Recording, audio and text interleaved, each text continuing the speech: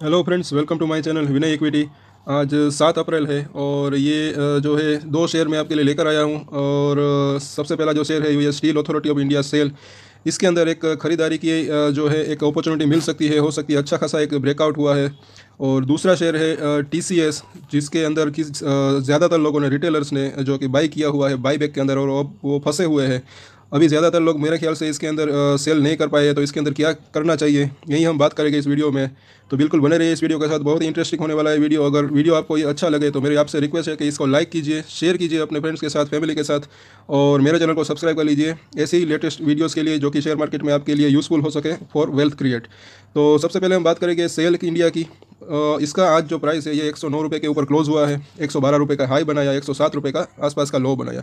तो इसके अंदर, यहाँ पर अगर देखें तो एक पिछले दिनों में, पिछले साल की मैं बात कर रहा हूँ, ये इसने हाई बनाया था तकरीबन डेढ़ सौ के आसपास। यहाँ से अगर देखें तो लगातार इसके अंदर एक डेढ़ सौ के आसपास से यहाँ पर एक लगातार गिरावट हुई। और गिरावट इतनी इंटेंसिफाई हुई कि यहाँ पर देखें तो एक इसने तकरीबन अस्सी रुपये के आसपास का लो बनाया था, तकरीबन ये आधा हो गया था। और अब जाके इसके अंदर जो कि ये स्टील अथॉरिटी ऑफ़ इंडिया आप नाम से ही पहचान गए होंगे कि ये स्टील का कारोबार में है तो जो है स्टील के प्राइस अप हो रहे हैं तो इसके अंदर एक तेज़ी का ट्रेंड बन रहा है। ये थोड़ा सा लॉन्ग टर्म चार्ट है। अब मैं आपको थोड़ा सा ये जो है कम टाइम फ्रेम का चार्ट भी आपको बता देता हूँ। तो ये जो ट्रेंड लाइन इसके अंदर, ये यहाँ पर अगर देखें तो ये डेढ़ सौ रुपये का हाई और यहाँ पर देखें तो ये फिर से एक सौ पैंतालीस रुपये का हाई बनाकर इसके अंदर एक डाउन ट्रेंड हुआ था। तो ये जो ट्रेंड लाइन है ऊपर की, ये एक रेजिस्टेंट फेस कर रहा है, ये जो है इसको हम बोलेंगे लोअर हाई ये बना रहा था, और ये लगातार अगर देखें तो ये लोअर हाई बनाता बनाता नीचे आ रहा है, और इस ट्रेंड लाइन ये हो कि ये सपोर्ट ले रहा था, और इसके अंदर जो है ये ये भी जो है लोअर लो बना रहा था। तो इसके अंदर अब हुआ क्या है, ये भी आप देख ले, मैं थोड़ा सा जूम कर लेता हूँ चार्ट को, यहाँ पर देखें तो आप ये इस ट्रेंड लाइन को गौर से देखिए, यहाँ पर सबसे अब इतने टाइम के बाद यहाँ पर एक तेज़ी का ब्रेकआउट हो आता हुआ दिख रहा है। और ये जो आप क्लियर कट इसके अंदर ब्रेकआउट भी देख रहे हैं। और यहाँ पर अगर देखें तो वॉल्यूम भी ठीक ठाक इंक्रीज़ हुआ है। इस यहाँ पर जो वॉल्यूम है उसके मुकाबले। और हालाँकि ये शेयर थोड़ा सा धीमा है, ठंडा है। और लेकिन इसके अंदर जो ब्रेकआउट हुआ है, उसको हम डिनाई नहीं कर सकते। तो ये जो ब्रेकआउट हुआ है, इसके अंदर अगर आपको करंट मार्केट प्राइस के ऊपर इसको बाई करना है तो आप कर सकते हैं। और सबसे पहले तो आप लेवल्स को जो है वो नोट कर लीजिए। कि इसके अंदर ये अभी एक सौ नौ रुपये का आसपास का इसका प्राइस है। आप करंट लेवल के ऊपर बाई करना चाहे तो कर सकते हैं और अगर आप दो भागों में बाई करें करना चाहे तो वो भी कर सकते हैं। अगर ये एक सौ पाँच रुपये के आसपास आए आधा यहाँ पर लीजिए आधा यहाँ पर लीजिए अगर बाई चांस ये नीचे आता है तो बाकी अगर आप देखें तो ये अगर नीचे नहीं आता तो आप रह ना जाए। तो इसलिए अगर आप अगर सेफ़ खेलना चाहते हैं तो आप दो भागों में बाइंग कर सकते हैं और अगर आप अ, कोई एग्रेसिव ट्रेडर है अगर इसके अंदर एग्रेसिव ट्रेडर है तो एक सौ नौ रुपये में बाई करना चाहता है तो वो कर सकते हैं। और जो स्टॉप लॉस रहेगा वो जो यहाँ पर ये अ, नो, ये नौ दिनों का ई एम आई एक सौ चार रुपये के आसपास और दो सौ दिनों का ई एम आई ये दोनों एक लेवल के आसपास ये एक सौ चार रुपये के आसपास। और अगर आप एक सौ नौ रुपये में और एक सौ पाँच रुपये में बाई करते हैं तो आपका जो एवरेज है, वो एक सौ सात रुपये के आसपास आता है। और स्टॉप लॉस अगर आप मुझसे पूछे तो स्टॉप लॉस इसके अंदर एक सौ दो रुपये के आसपास मतलब कि ये एक सौ चार रुपये के आसपास थोड़ा सा नीचे आप स्टॉप लॉस लेकर चल सकते हैं, या फिर जो भी आपकी मर्ज़ी, आप चाहे थोड़ा सा ऊपर स्टॉप लॉस ले, आप चाहे थोड़ा सा नीचे स्टॉप लॉस भी ले सकते हैं। क्योंकि स्टॉप लॉस में कभी कभी ऐसा होता है कि मैनिपुलेट होता है, एक दो रुपये ऊपर नीचे करके ये लोग जो है, फिर से नीचे जाके फिर से शेयर ऊपर चढ़ चढ़ सकता है तो आप अपने हिसाब से भी स्टॉप लॉस ले सकते हैं। और यहाँ पर देखें तो ये जो ट्रेंड लाइन है, खास यहाँ पर देखिए ये नीचे की ट्रेंड लाइन है, इसको ये एक सौ के आसपास यहाँ पर भी ये सपोर्ट निकल कर आ रहा है। मतलब कि ये जो रेड कलर की लाइन है, ये इसको यहाँ पर अगर आप देखें तो ये एक सौ को अगर ये नीचे ब्रेक करता है तो जो ये ब्रेकआउट हुआ है, उसका भी ये जो है फिर से जो है नीचे डाउन ट्रेंड इसका चालू हो जाएगा ऐसा लग रहा है। लेकिन जैसे कि मैंने बताया, इससे थोड़ा सा नीचे एक सौ के आसपास आप स्टॉप लॉस ले सकते हैं। और चलिए अब आगे और मैं यहाँ पर अगर ये वीकली चार्ट है, इसके अंदर भी मैं आपको कुछ खास दिखाने वाला हूँ और इसलिए मुझे ये चार्ट पसंद आया। इसलिए मैं कहता हूँ कि वीडियो को पूरा देखते रहिए, क्योंकि अगर कुछ खास इन्फॉर्मेशन ऐसी होती है कि जो आप मिस कर जाते हैं, यहाँ पर सबसे पहले देखिए एम का एक बुलिस क्रॉसओवर हुआ है नीट एंड क्लीन और हालाँकि अभी ये वीकली चार्ट है, दो दिन आई थिंक नो आज गुरुवार है तो शुक्रवार मतलब कि एक दिन बाकी है, लेकिन मुझे नहीं लगता कि ये खास डाउन जाएगा। और यहाँ पर नीट एंड क्लीन एक जो है क्लियर ब्रेक ब्रेकआउट है एम के चार्ट के ऊपर। तो सबसे पहले तो हमने आपको जो है इसके अंदर अगर बाइंग करना चाहते हो तो वो बाइंग प्राइस आपको बता दी 109 से 105 रुपए के आसपास।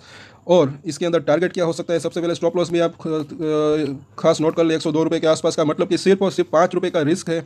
और रिवॉर्ड में अगर मैं कहूँ तो सबसे पहले तो आप यहाँ पर जो ये हाई बनाया था मतलब कि एक सौ ये इसका सबसे पहला टारगेट होगा। तो अगर आप पाँच रुपये का रिस्क और मतलब कि दस रुपये के आसपास का रिवॉर्ड रिस्क रिवॉर्ड रेशियो अच्छा है, और मुझे तो ऐसा लग रहा है कि जैसे कि ये यहाँ पर भी आप देख सकते हैं ये जो तेज़ी मंदी का जो ट्रेंड ब्रेक हुआ है, इसका टारगेट एक सौ से बढ़कर एक सौ को भी ये पार कर कर ऊपर में यहाँ पर अगर देखें तो ये यहाँ पर ऊपर में देखें तो एक सौ और उससे भी ऊपर देखें तो यहाँ पर एक सौ से आसपास ये भाव जा सकता है या हो सकता है कि डेढ़ सौ रुपये तक भी चला जाए।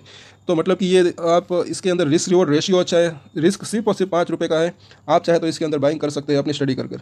चलिए अब हम TCS की बात भी करते थे और इसके अंदर ठीक है, ये सेल का चार्ट ही है और यहाँ पर जो है एम का जो इंडिकेटर मैंने हटा दिया है और अब आप नीट एंड क्लीन यहाँ पर ये देख सकते हैं कि ब्रेकआउट हुआ है। चलिए अब हम टीसीएस का चार्ट भी देख लेते हैं। यहाँ पर अगर देखें तो हुआ क्या है? सबसे पहले तो यहाँ पर एम का एक बेरिस क्रॉस ओवर होने की तैयारी है, लेकिन हुआ नहीं है। सो आप घाई मत कीजिए। देखिए, यहाँ पर अभी हुआ नहीं है। अभी इसका रिज़ल्ट आने वाला है। जिन लोगों को पता नहीं है, वो मैं बता दूँ। ग्यारह अप्रैल को, यानी कि मंडे को इसका रिज़ल्ट आने वाला है तो इतनी जल्दी ज़्यादा नीचे नहीं जाएगा। और इसके अंदर हुआ क्या है, जब ये बाईबैक मतलब कि अनाउंस हुआ था तो इसके अंदर देखें तो ज़्यादातर रिटेलर ने अड़तीस सौ रुपये से तीन हज़ार नौ सौ रुपये के आसपास बाइंग की है। या फिर मैं कहूँ कि सैंतीस सौ पचास रुपये के, सैंतीस सौ पचास से तीन हज़ार नौ सौ के आसपास बाइंग की है। या फिर अगर ब्रोकरेज को आप ऐड कर दे तो यहाँ पर इसकी जो है कॉस्ट आती है।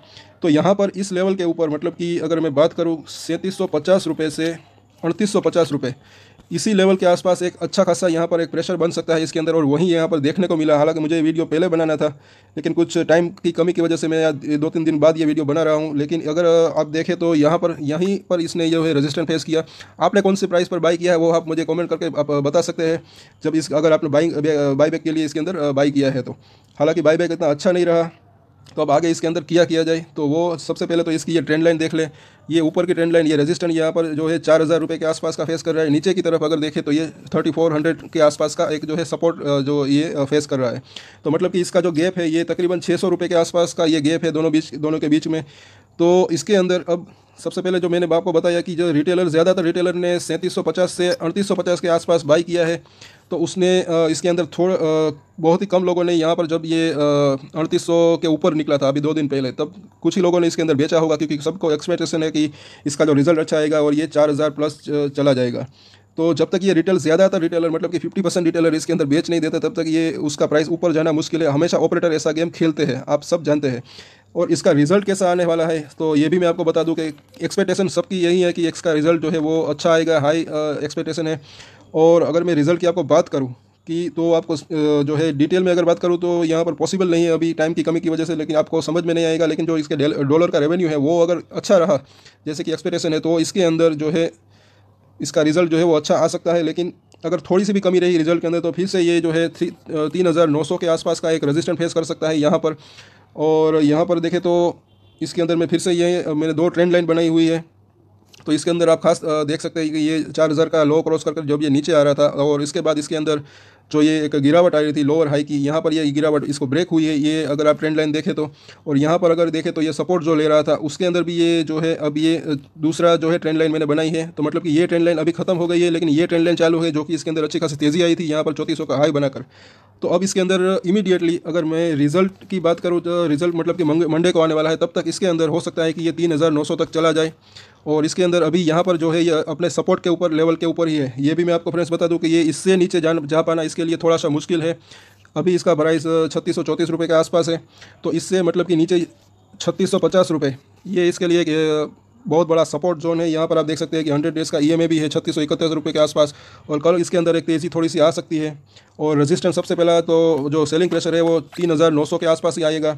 और अगर इसके रिज़ल्ट में मंडे को, अगर इसके रिज़ल्ट में फ्रेंड्स अच्छी खासी जो एक्सपेक्टेशन से ज़्यादा अच्छा आया रिज़ल्ट तब ये चार हज़ार को क्रॉस करेगा और जब ये चार हज़ार को क्रॉस करेगा तो सबसे पहले जो इसका रजिस्टेंट मतलब कि ये पैंतालीस तक जाएगा ही नहीं। सबसे पहले यही सबका प्रश्न है, लेकिन पैंतालीस सौ पहले अगर मैं आपको बता दूँ चार हज़ार दो सौ के आसपास, चार हज़ार दो सौ से चार हज़ार दो सौ पचास, यहाँ पर भी इसको एक रजिस्टेंट फेस करना पड़ सकता है।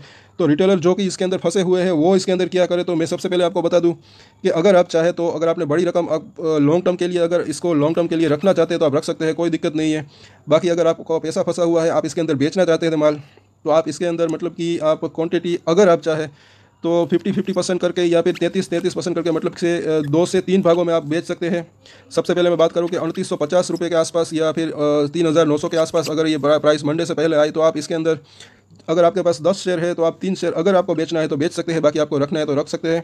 ये this is the I am just say this for education purpose और अगर, इसके बाद अगर शेयर नीचे आएगा तो भी आपको कोई दिक्कत नहीं रहेगी और ऊपर जाएगा तो भी आपको दिक्कत नहीं रहेगी क्योंकि जो कि ये आ, मतलब कि अगर ऊपर भी गया तो भी आपके पास कुछ ना कुछ शेयर तो बचे ही होंगे। और यहाँ पर अगर देखें तो ये वही चार्ट है जैसे कि मैंने बताया और यहाँ पर ये वीकली चार्ट है फ्रेंड्स यहाँ पर एम का बुलिस क्रॉसओवर होने की तैयारी तो है लेकिन ये हुआ नहीं है अभी। मतलब कि ये हो जाता अगर ये बाई चांस अगर ये इस लेवल को पार कर जाता। और ये मुझे ऐसा लग रहा है कि अगर इसके रिज़ल्ट में अच्छी खासी तेज़ी रही आ, मतलब कि रिज़ल्ट अगर अच्छा रहा तो इसके अंदर एक तेज़ी आ सकती है और यहाँ पर एक एमएससीडी का बुलिस क्रॉसओवर बन सकता है। और तब इसके अंदर ये चार हज़ार का प्राइस जैसे ही ऊपर होगा तो सबसे पहला रेजिस्टेंस इसका चार हज़ार दो सौ से चार हज़ार दो सौ पचास और उसके बाद ये चार हज़ार पाँच सौ तक भी जा सकता है। अगर रिज़ल्ट काफ़ी बेहतर आया, बढ़िया आया तो।